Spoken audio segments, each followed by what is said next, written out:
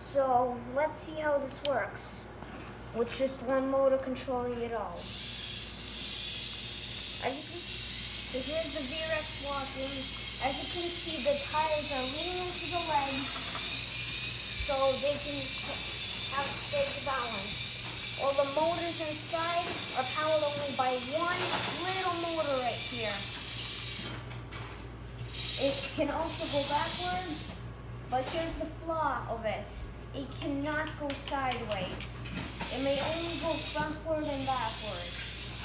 But the good news is for the tail that is powered by this leg. Right now, watch the leg. I mean the the tail. As you can see, the tail is going up and down. Now look at the little arms at the Tyrannosaurus Rex or V-Rex. You can see that they are modified, and, but I didn't. I only modified the fingers. They're connected to a rubber band, as you can see here right here, and this moves them up and down. There's another right on the side. So let's watch this now. As you saw, the audience can go up and down. Now let's get to the most interesting part, the draw.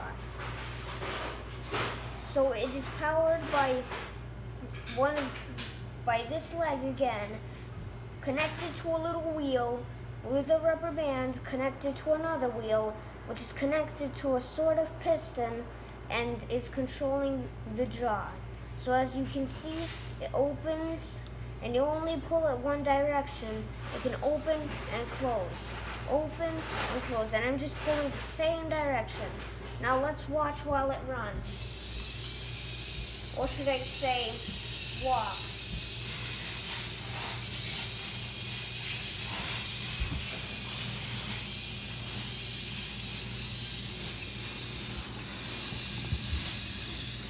Also it looks a lot like it's gonna tip over, but don't worry. The tires have a 75 chance that they'll hold your spot up. So it kind of matters how lucky you are. Otherwise, thank you for watching the V-Rex. Here's my modified V-Rex. As you can see, there are two touch LEDs here and I have one distance sensor right here. My father's program would be the eyes start green, then if the eyes are if the distance is approximately like this, they would turn red, and if touched, they would turn into blue and he would back away. And soon he would keep on walking with his eyes both blue. Let's do this.